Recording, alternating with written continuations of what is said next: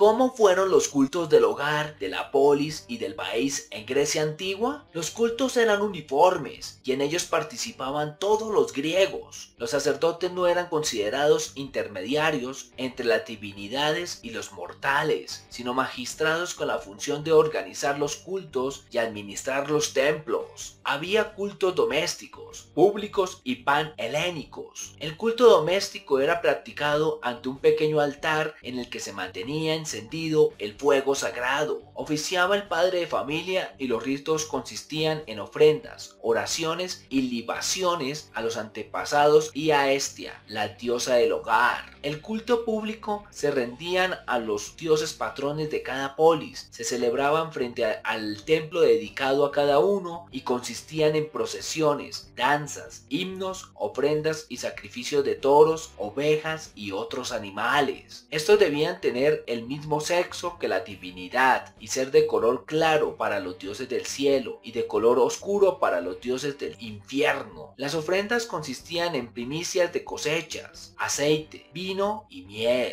Los cultos panhelénicos, pan igual todos, se conocen con este nombre porque en ellos participaba gente de todo el ámbito griego. Consistían en ofrendas y sacrificios que se hacían a los dioses más populares en lugares llamados santuarios. Los que atraían más creyentes eran el de Febo, Apolo, en la ciudad de Delfos, y el de Zeus en Olimpia. Las fiestas panhelénicas más brillantes fueron las dedicadas a la diosa Atenea, patrona de Atenas, las de Dionisos y los Juegos Olímpicos.